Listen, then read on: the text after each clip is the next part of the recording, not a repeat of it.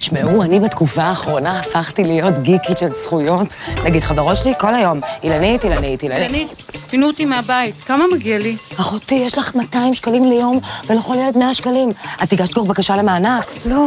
אילנית, אילנית, מאז המילואים אנחנו כל הזמן רבים. יש לנו זכאות לטיפול זוגי? אין על טיפול זוגי, מציל חיים. יש לך 1,500 שקלים, אחות. אילנית! וואו, וואו, בנות. אולי פשוט תתקשרו לאליס. אליס? מי? הקו של אליס, מרכז זכויות של שדולת הנשים. כי כשנשים עוזרות לנשים, את לא נשארת לבד. אליס נשבעת שאלה אחרונה, נשבעת.